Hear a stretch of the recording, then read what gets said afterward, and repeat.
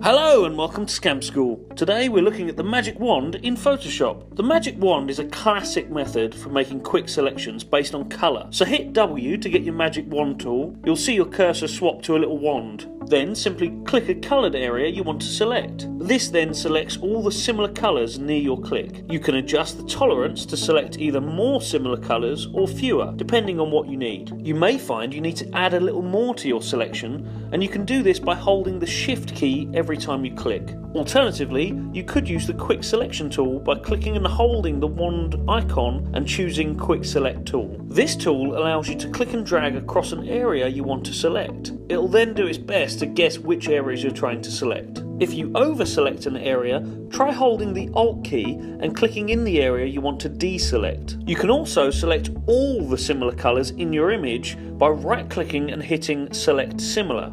And that's the basics of the Magic Wand tool. Hope you're learning stuff. Thanks for watching.